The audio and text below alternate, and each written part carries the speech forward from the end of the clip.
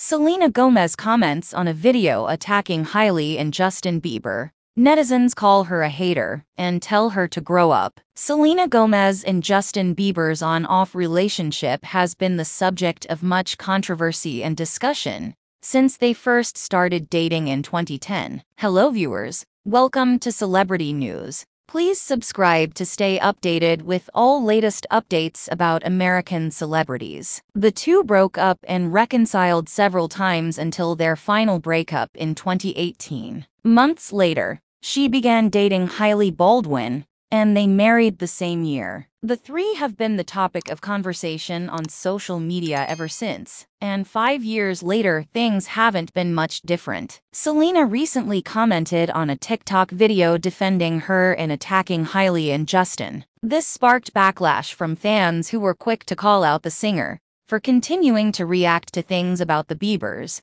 especially those that belittled and belittled them. Here's what happened what I commented on, and how netizens reacted to it. The TikTok video claimed that Justin's fans were bullying Selena for mentioning their relationship in an interview, even though it had been more than five years since their breakup. The user defended the pop star, saying she was talking about her private life experiences in past relationships, just like any other celebrity would. Then they started trashing Justin, claiming that Selena's net worth is higher than him and that she was successful before him. The user then added that all they hear about the hitmaker is tabloid bullshit about him and Hailey. Thank you so much. Growing heart emoji. Selena captioned the video. Fans started posting screenshots of the comment and recording a video on Twitter talking about how much Selena appreciated Hailey and Justin's hate video. Netizens were not happy about this and made their opinion known. One user wrote, She's obsessed with Justin and Hailey. There's always a little bit of her comment under a post where Justin or Hailey is being dragged that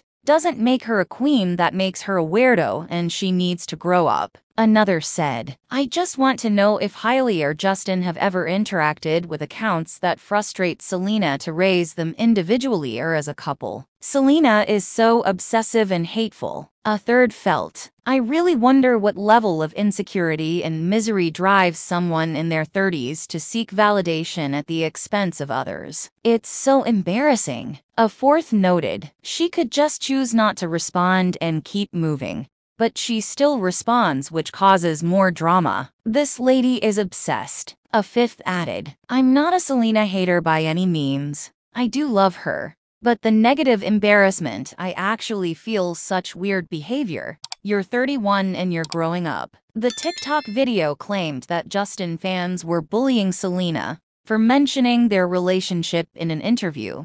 Despite more than five years after their breakup, the user defended the pop star saying she she was talking about her own life experiences and past relationships, just like every other celebrity does. They then began trashing Justin, claiming Selena's net worth is higher than his, and that she was successful way before him. The user then added that all they hear about the baby hitmaker is tabloid bullhit and nonsense about him and Hailey. Selena commented, Thank you so much. Growing heart emoji on the video. Fans started posting screenshots of the comment and screen recording of the video on Twitter, talking about how Selena is still appreciating a video hating on Hailey and Justin. Netizens were not happy about it, and they made their opinion known. One user wrote, She's low-key obsessed with Justin and Hailey. There's always her commenting under a post where Justin or Hailey are getting dragged.